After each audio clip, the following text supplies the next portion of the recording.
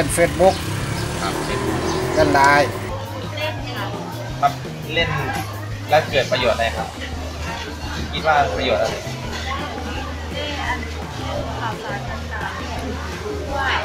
เขาจะเอาลงเอาข่าวลงหน้ามีอะไรอย่างเงี้ยแล้วไม่ได้อ๋อแล้ว คุณลุงคิดอยากจะเล่นไหมครับ ไม่อยาก ที่ใช้หลักๆก็มี Line Facebook อ๋อแล้วสองอย่างสองอย่างใช่ไหมครับ Google Drive พวกนี้เดี๋ยว Google Drive จะทำออกมาในที่เราได้ใช้กันก็ฝั่งของการศึกษาซะมากกว่านะครับ เป็นพวก Google Form มีฝากวิดีโอฝากไฟล์นู่นนี่นั่น อันนี้จะเป็นอีกส่วนหนึ่งเฉยๆนะครับไลน์ก็มีเช่นกลุ่มนักศึกษาอะไรอย่างเงี้ยอ๋อแจ้งงานแจ้งข่าวไม่เคยไม่เคยเล่น ก็ถ่ายรูปเล่นครับ ถ่ายรูปลง ว่าอยู่นี่อยู่นี่ครับไปนี่มาอย่างนี้ครับอ๋อผ่านสังคมออนไลน์ไหมฮะผ่านครับก็แสดงว่าเล่น Facebook ใช่ไหมครับครับอ๋อปกติก็เล่น Facebook บ่อย ครับก็เล่นบ่อยครับ อย่างวันหนึงเนี่ยเล่นประมาณสักกี่ชั่วโมงครับเล่น Facebook ก็ส่วนมากก็ไม่ค่อยได้เล่นครับ ก็ไปเที่ยวมาเสร็จปั๊บค่อยลงอย่างเงี้ยครับแต่ก็เล่น Facebook เป็นเล่นบ้างครับ อ๋อครับแต่ไม่ไม่บ่อยครับ ใช้แต่ Google ธรรมดาอะไรอย่างเงี้ยครับ แต่ก็ไม่ยังไม่เคยมีการไปก็ไฟล์ผ่านในตัวไม่เคยครับ ไม่เคยครับอ่า ในปัจจุบันผมก็ใช้ส่วนใหญ่หลักๆ แล้วในใช้ทำงานครับเล่นทำงานครับก็เป็นพวกไออีเมลบ้างไลน์บ้างนะฮะติดต่อ ใช้ใช้ Facebook ไหมฮะอ่าเฟซบุ๊กก็ก็ใช้ฮะแต่ว่าใช้เป็นpublic มากกว่า เดี๋ยวนี้สมาร์ทโฟนใช้แทนเงินสดได้ด้วยนะอืมใช่ไหมฮะ มันมีหลายแอปพลิเคชันที่แบบซื้อของโดยไม่ต้องใช้เงินสดอย่างเงี้ย ผ่านมือถือเลยอย่างเงี้ยใช่ฮะเฟซบุ๊กบอคอยมี ไม่มีบอลงเฟซบุ๊กแต่ว่าเล่นแต่ไลน์รู้จักค่ะแล้วตอนนี้ใช้งานอยู่ไหมคะ ใช้ค่ะ นอกจากไลน์แล้วใช้งานอะไรอีกคะ ก็จะมีพวก Facebook Instagram Twitter อย่างเงี้ยเป็นต้นค่ะ อ๋อ รู้จักค่ะ แล้วคิดว่ามันคืออะไรครับ มันก็จะเป็นโปรแกรมนะคะที่ช่วยพัฒนาการเรียนรู้ของนักเรียนและนักศึกษาค่ะ แล้วพอที่จะยกตัวอย่างแอปพลิเคชันสักหนึ่งตัวได้ไหมครับที่รู้จักนะคะก็จะเป็น iTunes U ค่ะ ก็จะเป็นแอปพลิเคชันนะคะที่ ที่มีเนื้อหาสาระความรู้นะคะอย่างมากมายเลยนะคะ ของมหาวิทยาลัยชั้นนำของโลกนะคะ ก็จะเพื่อให้คนทั่วไปนะคะได้ศึกษาข้อมูลค่ะ แล้วคิดว่ามันมีประโยชน์กับชีวิตประจำวันของเราอย่างไรครับ ก็ถ้าเกิดว่าเราอยากศึกษาหาข้อมูลความรู้ใหม่ ๆนะคะเราก็สามารถศึกษาได้จากแอปพลิเคชันนี้ได้เลยค่ะ อย่างไม่จำกัดค่ะก็ก็รู้จักครับเคยใช้เลยลองสันลองยกตัวอย่าง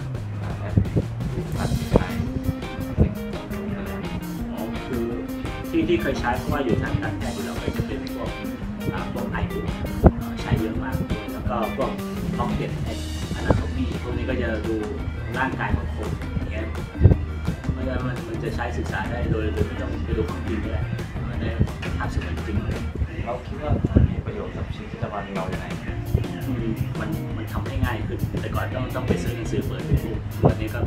ซื้อแอปมาแล้วก็ดูที่บ้านได้เลยจักค่ะพี่ทราว่ามันคืออะไรคะแอปพลิเคชันในปัจจุบันนะคะก็จะเป็น การใช้มือถือค่ะ เช่นการเล่น Facebook แล้วก็การหาข้อมูลในโทรศัพท์นะคะ แล้วก็การเล่นเกมเป็นแอปพลิเคชันอย่างหนึ่งนะคะ แล้วก็การสื่อสารด้วยการการเรียนการสอนนะคะ เช่นตัวอย่างนะคะก็จะเป็นการค้นหาข้อมูลในอินเทอร์เน็ตนะคะ ก็จะเป็นสื่อ CAI นะคะ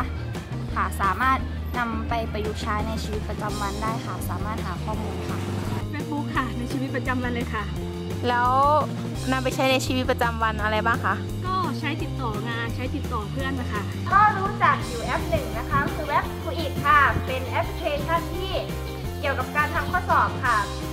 เอ่อเกี่ยวกับภาษาอังกฤษนะคะสำหรับใครที่สนใจภาษาอังกฤษต้องการที่จะหาข้อสอบในการทำในการ ฝึกนะคะ ก็สามารถเข้าใช้แอปนี้ได้ ซึ่งเป็นที่นิยมอย่างมากในทุกวันนี้นะคะ แล้วก็แชร์มาใน Facebook เยอะมากค่ะ ไปลองใช้ดูค่ะพี่มันดีมากค่ะ ก็สำหรับหนูนะคะ ก็เรียนสาขาวิชาภาษาไทยก็จะรู้จักแอปอ่านอย่างไรเขียนอย่างไรค่ะ มันก็จะช่วยให้เราค้นหาคำได้ง่ายเนี่ยค่ะว่าคำไหนอ่านอย่างไรเขียนอย่างไร เวลาที่เราเอาไปสอนนักเรียนเนี่ยก็สามารถจะเสิร์ชหาได้หรือว่าจะให้นักเรียนเนี่ยโหลดเอามาใช้เพื่อเป็นการต่อยอดในการศึกษาได้ค่ะ พอรู้จักบ้างค่ะ แล้วยกลองยกตัวอย่างได้ไหมครับ เช่นกาฮูดค่ะ เอาไปปรับใช้ในชีวิตประจำวันก็คือเอาไปใช้ในการสอนเด็กทำแบบฝึกหัดตอบคำถามอะไรประมาณนี้ค่ะ อ๋อ แล้วก็คือสามารถใช้แบบทั่วไปได้เลยใช่ไหมครับ แล้วออกแบบได้สามารถค่ะ สามารถออกแบบให้ผู้เรียนเนี่ยจัดกิจกรรมเป็นแบบไหนครับการมูลเป็นก็คือเราก็คือครูผู้สอนเนี่ยต้องทำแบบฝึกหัดไปให้ เด็กนักเรียนทำนะคะ คือมันจะเป็นการแข่งขันกันในห้อง ใครที่ได้คะแนนเยอะกว่า ใครที่กดแล้วได้คะแนนเยอะก็มีสิทธิ์ได้เป็นที่หนึ่งในเกมอะไรประมาณนี้ค่ะ จากก็ที่คือศึกษามาก็คือผู้เรียนเนี่ยสามารถทำได้ทุกที่ไม่จำกัดว่าอยู่ในห้องเรียนอย่างเดียวใช่ไหมรับใช่ค่ะใช่ทำเป็นออนไลน์ก็ได้ค่ะ อ๋อพอรู้จักบ้างครับ แล้วน้องคิดว่ามันคืออะไรอะ ก็เป็นพวกแอปพลิเคชันที่ใช้เกี่ยวกับการเรียนการสอนครับ อ๋อแล้วน้องรู้จักไหมว่ามันมีอะไรมีโปรแกรมอะไรบ้างไหมน้องพอจะก็รู้สักที่ผมรู้มาก็มีคาฮูดครับคาฮูดอ๋อแล้วมันมีประโยชน์ยังไงอะก็มีประโยชน์ก็คือทำให้ในการเรียนการสอนเนี่ยน่าสนใจขึ้นครับ มันจะช่วยเป็นเป็นกิจจัดเป็นการจัดกิจกรรมอย่างหนึ่งในการเรียนการสอนครับผม อ๋อรู้จักค่ะ แล้วคิดว่ามันคืออะไรเหรอครับ คือเอ่อแอปพลิเคชันของการศึกษาค่ะที่ใช้ในการจัดการเรียนการสอนเนี่ยค่ะเกี่ยวกับการเรียนการสอน แล้วรู้จักไหมครับว่ามันมีอะไรบ้างเดี๋ยวลองยกตัวอย่างให้ดูสักหนึ่งตัวอย่าง ก็พวกเอ่อ Google Classroom แล้วก็พวกเอ่อโปรแกรม Picker อะไรอย่างนี้ครับแล้วมันมีประโยชน์ยังไงเหรอครับ อย่างเช่น Google Classroom นะคะก็คือเอ่อ ใช้ในการจัดการเรียนการสอนคือ ให้ผู้เรียนสามารถที่จะเรียนรู้อยู่ที่บ้านได้ แล้วก็ผู้สอนก็คือสามารถประหยัดเวลาแล้วก็สะดวกสบายมากขึ้นค่ะ รู้จักบ้างนิดนึงครับอ๋อแล้วแล้วพวกเนี้ยมันมีอะไรบ้างครับลองยกตัวอย่างได้ไหมครับ ส่วนใหญ่ก็ Google เป็นภาษาครับใช้บ่อยมากครับ แล้วก็ไอแอป g o ครับอ๋อแล้วแล้วจะนำไปใช้ในชีวิตประจำวันยังไงครับ เวลาปรับใช้อย่างเงี้ย Google เป็นภาษาก็ส่วนใหญ่เวลาเข้าเว็บอะไรที่เป็นภาษาอังกฤษก็ใช้ Google แปลเอาครับอ๋อครับหรือเลขตัวเหรอครับโกบตัวโกบไม่เป็นไอส่วนใหญ่จะเกี่ยวกับวิทยาศาสตร์ครับ มันเป็นเหมือนว่าเอามาใช้ในพวกที่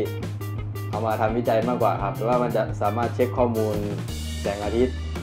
เช็คข้อมูลฝนได้ครับ อ๋อ คือมันเชื่อมโยงกันลิงก์ข้อมูลกันได้หมด ใช่ครับ มันลิงก์ข้อมูลกันทั่วโลกครับ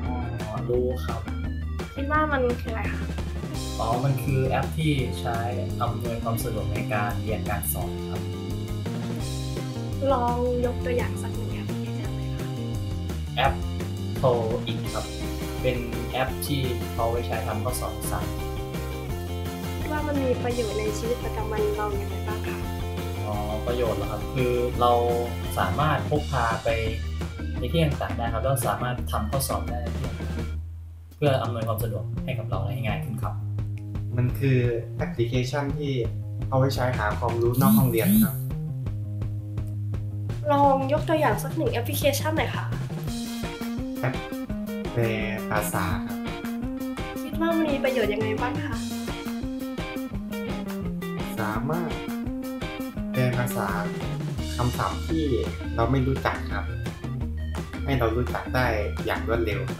ปกติก็ใส่ Facebook เป็นในการติดต่อสื่อสารกับเพื่อนกับมูแน่กับนักศึกษาแน่ครับใส่ประจำทุกมือครับ